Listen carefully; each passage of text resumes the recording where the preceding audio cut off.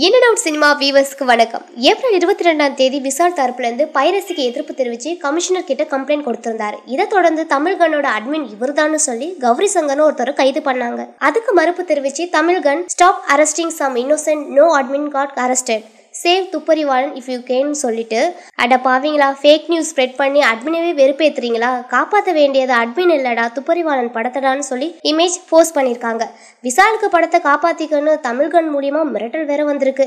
ஆனா இன்னைக்கு studio green Tamil Rockers மற்றும் தமிழ்கனோட மாடரேட்டர்னு சொல்லிட்டு டிக்சன் ராய் ஆறுமுகசுவாமி அரவிந்த் லோகேஸ்வரன் இவங்களோட போட்டோவை வெளியிட்டிருக்காங்க. இவங்கள பத்தி உங்களுக்கு தகவல் தெரிஞ்சா தமிழ் ஃபிலிம் ப்ரொடியூசர் கவுன்சிலுக்கு மெயில் அனுப்பலாம். சட்டவிரோதமான எந்த செயலை செஞ்சாலும் தப்பு தான் எத்தனையோ பேரோட உழைப்பை இப்படி வீணடிக்கிறது ரொம்பவே தப்பான விஷயம்.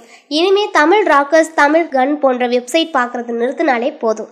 இன்னும் இது போல நிறைய சினிமா செய்திகளை தெரிஞ்சுக்கிறதுக்கு இன்னும் அவுட் சினிமாவுக்கு சப்ஸ்கிரைப் பண்ணுங்க என்ன note cinema in and out cinema in and out சினிமாக்கு இன் அண்ட் அவுட் சினிமாவை in and out cinema subscribe பண்ணுங்கள் சப்ஸ்கிரைப் பண்ணுங்கள் சப்ஸ்கிரைப் பண்ணுங்கள் சப்ஸ்கிரைப் பண்ணுங்கள் சப்ஸ்கிரைப் பண்ணுங்க. கண்டிப்பாக இந்த சேனலை நீங்கள் சப்ஸ்கிரைப் பண்ணுங்கள் இன் அண்ட் அவுட் சினிமாவை சப்ஸ்கிரைப் பண்ணுங்கள் பிடிச்சா ஷேர் கூட பண்ணுங்கள் பைரசியை ஒழிக்கிறது எவ்வளோ முக்கியமான விஷயமோ அதை விட ரொம்ப முக்கியமான விஷயம் இன் அண்ட் அவுட் சினிமாஸை சப்ஸ்கிரைப் பண்ணுறது வேறு வழியில் சொல்லி தான் ஆகணும்.